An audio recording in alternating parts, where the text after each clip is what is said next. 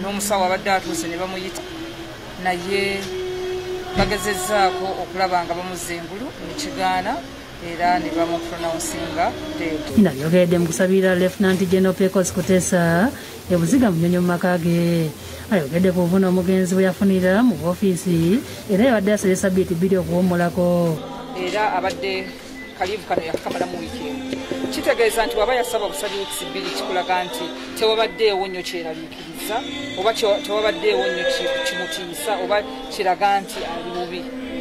Ayogedde ne ku ntalo zazaalwana ez'amaanyi n'aziwangula. Bwomuteeka mu kuduumira aduumira bwomuteeka mu ofiisi akola bwomuteeka mu bitongole ebyebweru akola so ye musajja gwe tufiiriddwa era mmanyi nga amaje gamufiiriddwa nnyo nnyo nnyo. Bo abatuuze mu bukiikakkono bw'ekibuga gulu mu disitulikiti y'eggulu bayongobedde oluvannyuma lw'okufuna amawulire ag'okufa kw'omwana enzaalwa meja gino paul okage buli muntu anyogoze wamu n'okusannyalala nga beebuuza ekisa omwana waabwe ate nga tebanafuna ku mawulire ti abadde mulwadde First of all, he's one icon that we cherish a lot. Losing him like we have lost a million people in this region. Personally, I knew him because we trained together in Tabamba Elementary School.